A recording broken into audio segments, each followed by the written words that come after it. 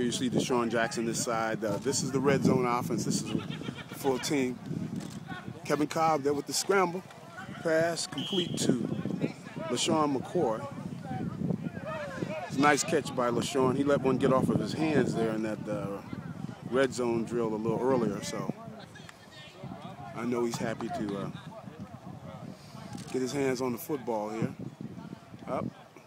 They had one play there for Kevin Kolb, and now you got Michael Vick in there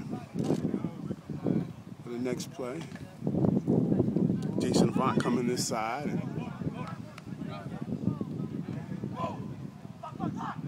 See uh, Vick drops back.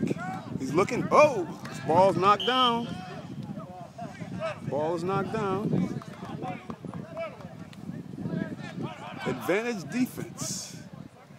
Now you got you got Kafka getting in there, They're letting the uh, quarterbacks. They're rotating them every play. Normally they go two, three plays at the most. Uh, well, at the least, excuse me, uh, with the quarterbacks and, and, the teams, but they're, they're, they're turning it over pretty quick.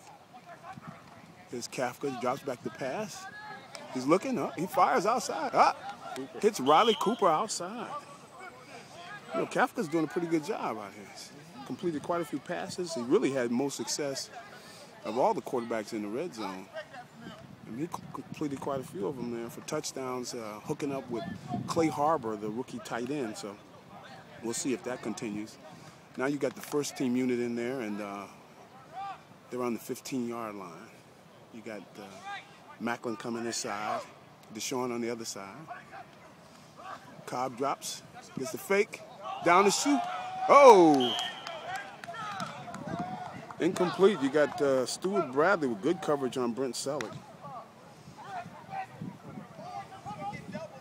Kolb trying to get the ball down the seams to his buddy uh, Brent Celek. Good coverage by uh, Stewart Bradley, who, uh, for his size, he really does a good job against the pass. It's, you think it would be vice versa, but uh, Bradley, I think, is a better pass coverage middle linebacker than he is a run guy. Okay, here you got the DeSean Jackson this side. You got the close split, which means you got to watch that motion outside. You got to deal with Jackson inside. Oh, okay, good, good pass over cross. Celek with the crossing route, and Kolb got the ball to him